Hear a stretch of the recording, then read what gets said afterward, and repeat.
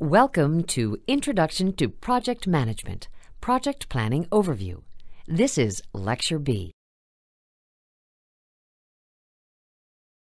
The objectives for Project Planning Overview are to identify the importance and purpose of effective planning, identify and describe each component of the project management plan, and define and prepare project planning documents. This lecture will focus on the third objective.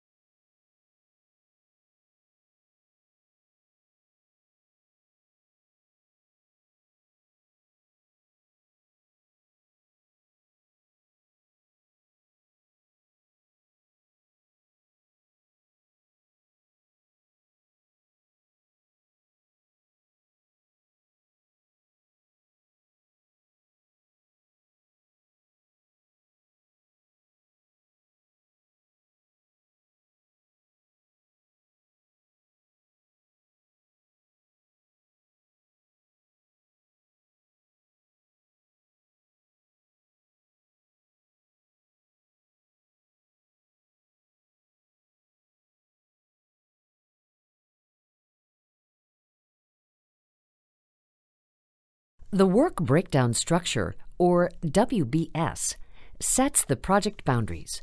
It is created after the project scope statement is complete and provides detailed scope definition and is developed for all projects regardless of size and complexity.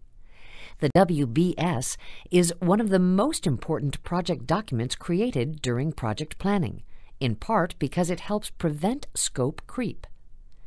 The project scope statement is the starting point for building the WBS. The scope statement is broken down into small, manageable components through a technique called decomposition. Decomposition continues until all work is eventually broken down to the lowest level of the WBS, which is called a work package.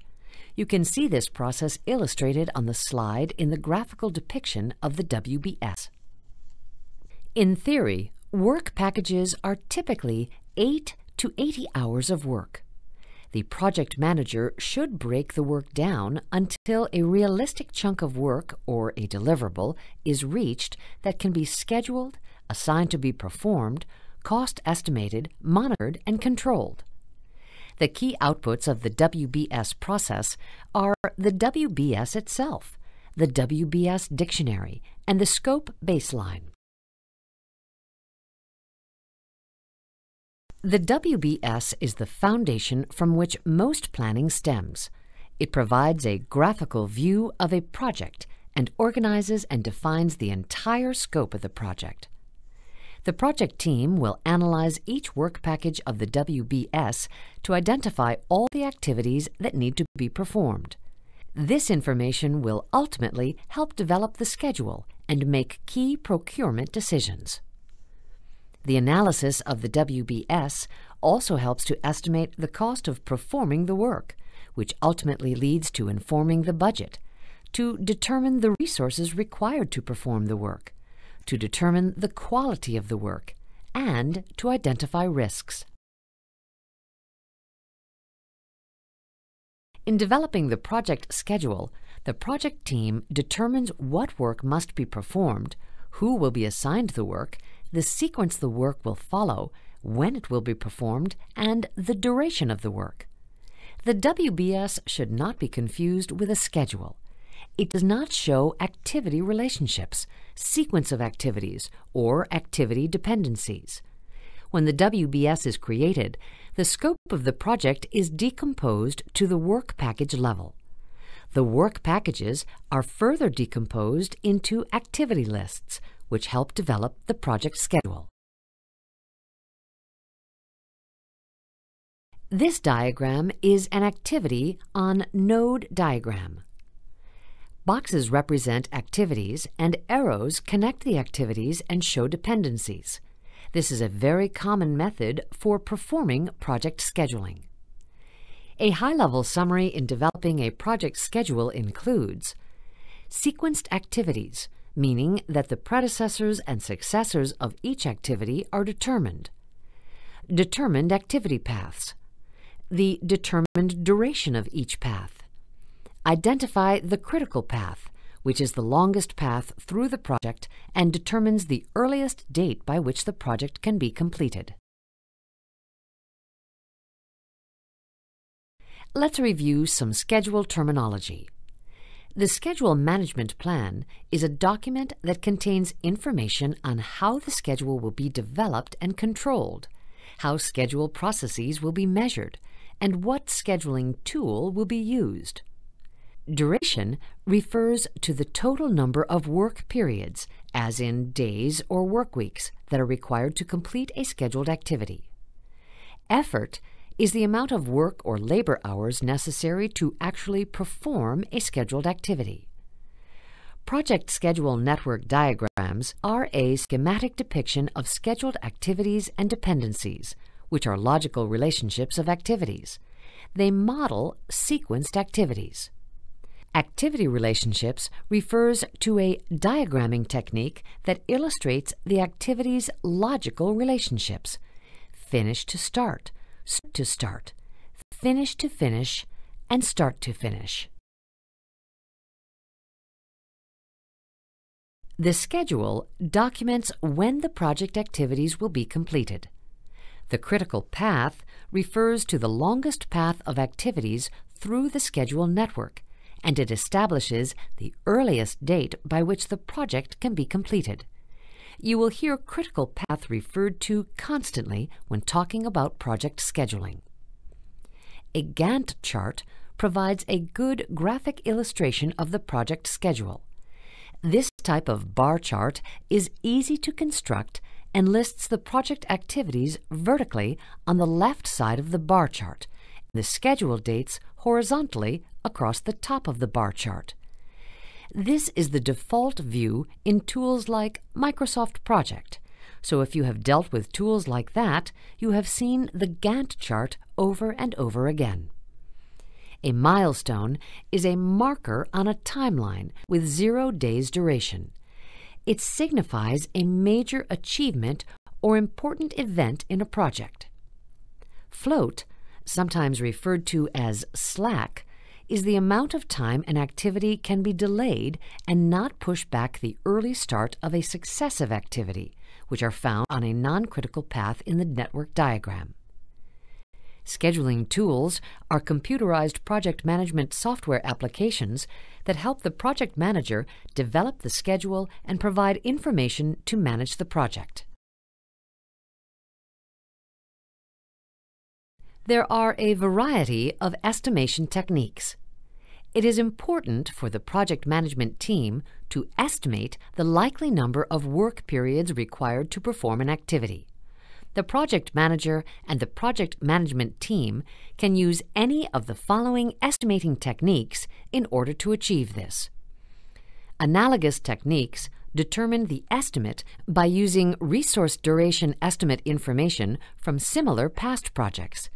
This is often used in project initiation or early planning when detailed project information is lacking. A project manager may use such expert judgment techniques as acquiring estimate information from individuals with historic information or experience related to similar prior projects. It is not uncommon to bring in someone with expert judgment to help perform project estimation. A parametric technique is a statistical approach to develop estimates based on historical data and other variables, such as square footage or labor hours per unit of work. A three point estimate calculates the expected activity duration by adding an optimistic estimate, a pessimistic estimate, and a most likely average estimate together and dividing by 3. A program evaluation and review technique, PERT estimate, is a popular type of three point estimate that uses a weighted average estimate. While it has advantages, such as a more precise scheduling and control, it is a more complex and costly method to estimate durations. You must know dependency determinations between activities when preparing a schedule and understand the relationships between activities. That is, it is very important to understand the relationships between all of the activities in the projects before you can produce an accurate schedule. Activity dependencies fall into the following three types.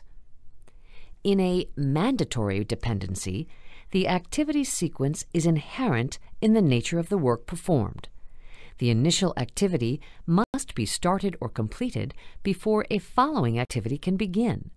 For example, you can't erect a structure until after the foundation is built. You can't paint a wall until the drywall is complete. And you can't test an application until after it has been developed. Discretionary dependencies involve using best practices when sequencing activities. For example, plumbing and electrical work in construction can be performed in either sequence, so the manager will have to use best judgment here.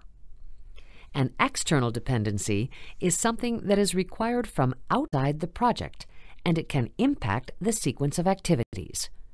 Permits or inspections are examples of external dependencies. Duration compression techniques are used to compress or shorten the project schedule these techniques are typically used to get a project schedule back on track. Crashing involves adding more resources to an activity. This may result in increased costs, but it will help you push the schedule forward more quickly. Fast tracking is a way to speed up your project by overlapping your activities or running them in parallel. This can often lead to greater risk and potentially impact quality, which may sometimes result in rework. During project planning, the project team uses estimated costs of individual activities or work packages. The cost estimates are aggregated to establish a cost baseline. The cost estimating techniques, whether analogous or parametric, are the same as used in time management to estimate activity durations. A cost management plan sets the format regarding how project cost will be managed. The plan is developed by the project team and is a component of the project management plan. It may include level of accuracy of activity cost estimates, units of measure for the resources, control thresholds for cost variation, performance measurement rules, reporting formats. During project planning, the team identifies and documents quality requirements, standards, and metrics to measure quality performance for the project and product, and then develops a quality management plan. The project team should focus on managing customers' expectations by meeting their requirements. The team should not attempt to exceed requirements or provide extras. The Quality Management Plan is a document within the Project Management Plan. This document addresses project quality control, quality assurance, and continuous quality improvement. During the planning process, the project team focuses on a proactive and preventative approach to ensure that quality is designed into the project. If this step is missed, it may result in poor quality with costs associated with excess inventory, waste, rework, and warranty support. Resources on an IT project could include one or more of the following roles a business analyst, a network specialist, for a health IT project, a medical specialist who could be a doctor, nurse, or researcher, a project manager, a programmer. The Human Resource Plan contains the following information. Assigned team member roles and responsibilities. The approach for managing team members and staffing policies. A description of how project resources will be acquired and released. A description of how team members will be managed. A Human Resource Management Plan describes how training requirements of team members will be accomplished, defines criteria for rewards and recognition, provides project organizational charts and position descriptions, which is an organizational breakdown structure that diagrams the project team members' reporting relationships. A common tool for project management and human resource management is a Responsibility Assignment Matrix, or RAM. This is a diagram that correlates the project organizational structure to the WBS. The matrix diagram on this slide depicts the work that must be performed and the individual or team responsible for performing that work. During project planning, the project team develops a communications management plan that describes the identified project stakeholder information needs and defines the approach for communicating during the project. A communication requirements analysis is performed to determine the stakeholder information needs. The project team must determine what project information will be shared, who it will be shared with, when the information will be shared, and how the information will be shared. Information in the Communication Management Plan may include organizational charts, responsibility assignment matrix, name and contact information of change control board members, meeting times and locations, locations of team members, and potentially more information that can be determined by the project management team. The Communications Management Plan describes the communication needs of the project stakeholders, describes how communication will be managed on the project, and the type and format in which the information will be communicated, describes when and how communications will be shared, identifies who is responsible for providing information, describes required escalation processes for communications. The project team conducts a communication requirements analysis to determine the type and format of information needed to develop the communications management plan and identify the stakeholder information needs. Project information is shared with stakeholders by different methods. First, interactive communication, which could include meetings, phone calls, and other types of communication that take place in a two-way format, such as a dialogue. Then there is push communication, such as memos, reports, and faxes, in which one party pushes communications to another party. There are also pull communication, which includes internet sites, knowledge repositories, and other kinds of self-service information resources where people can go and consume the information at their will. The kickoff meeting is the first major meeting with the key project stakeholders. Its focus is on building relationships, reviewing the project objectives, and understanding project goals. It will include a high-level discussion of project scope, risks, schedule and milestones, communications, constraints, and assumptions. It is also a great chance to review team member roles and responsibilities. It allows the project leadership to describe how the project fits into the organization's business strategy and the benefit in funding the project. It is also an opportunity for stakeholders to ask questions. Typically, the project management plan is shared during this meeting. Now we'll discuss how to plan for project risk management. Typically, the project risk planning process includes planning for risk management, identifying risks, performing qualitative risk analysis, performing quantitative risk analysis, and then understanding how to appropriately respond to all risks. The project team identifies risks that may affect the schedule or deliverables. The risk management process aims to increase positive events and decrease negative events throughout the course of the project. The project team should address project risk issues quickly and efficiently. The risk management policies of a company will help the project team plan to manage risk. The Risk Management Plan document describes how project risk management will be structured and performed on the project.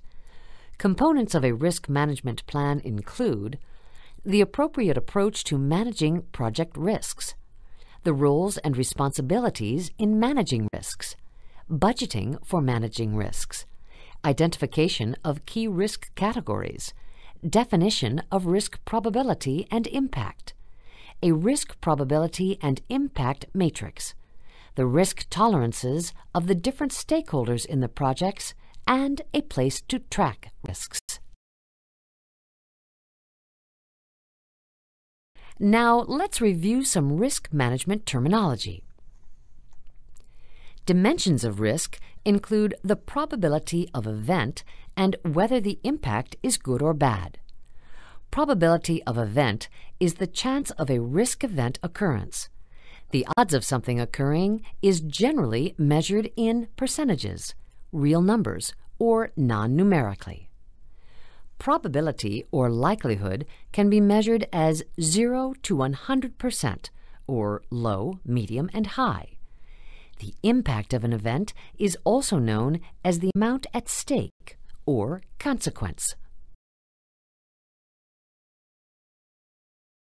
A risk register is developed early in the project planning process and elaborated on during the risk management planning process. The risk register contains identified risks, description of risks, results of the qualitative and quantitative risk analysis, risk triggers, risk owners, and planned risk response strategies. This slide provides an example of a risk register, and you will see it consists of rows and columns, and the key columns are risk ID number, risk statement, probability of occurrence, and impact or potential impact of that playing out. A risk register can include a score, which would be probability times impact, things that could trigger that risk, who is the owner of that risk? Who would deal with risk response?